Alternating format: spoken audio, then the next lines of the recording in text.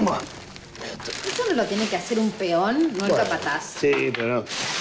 Es indistinto. Acá cuando falta uno, lo, lo suplanta el otro, no pasa nada. Mm, está bien, está Eh, no es la parte más grata de mi trabajo, pero es mi trabajo, en fin. No me importa, me gusta mirarte de todas maneras haciendo tu trabajo. ¿Ah, sí? Sí.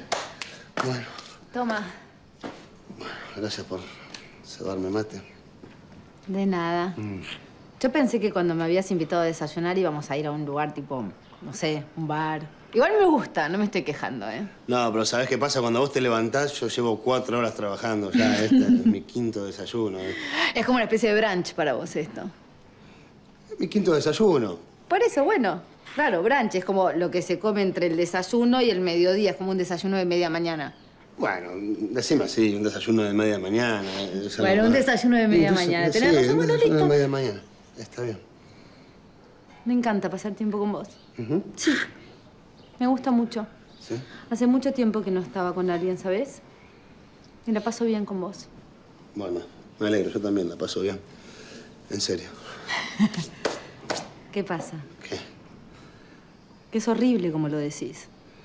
Yo también la paso con vos. No, yo también la paso bien, no. en serio te dije. ¿Qué pasa? ¿Hay algo que no te cierra, mío? ¿Hay algo que no te cierra? Ay, ya sabes, Victoria. ¿Qué? No, no sé, decime.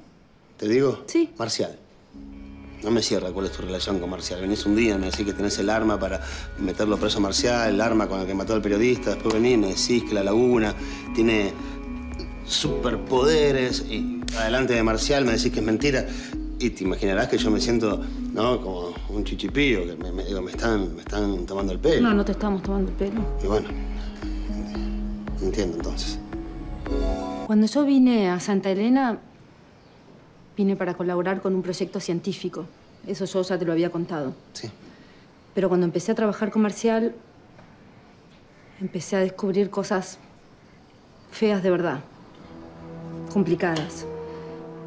Y terminé atrapada en un lugar donde yo no quiero estar atrapada. Ah, pero, pero ese es el punto, Victoria. Somos grandes, nadie está donde no quiere estar. Si usted no quiere estar ahí, si vos no querés estar ahí, renunciás a Marcial, te vas y ¿Pero vos listo. te pensás que es tan fácil de verdad? No, me parece que sí, No, sí, me bueno, voy, no chao, es tan fácil. fui. Vos no lo conocés a Marcial. Marcial es complicado de verdad. Y me encantaría poder salir de esa situación en la que estoy, pero no puedo porque quedé atrapada. Soy la víctima en esta situación. ¿Víctima de qué? Contame de qué, así te entiendo. ¿De qué sos víctima? Yo te quiero decir una cosa. Decime. Cuando yo te dije que había encontrado el arma, era verdad. Yo tenía en mis manos el arma con la que Marcial había matado al periodista. No te mentí. ¿Y? ¿Qué pasó? ¿Qué pasó?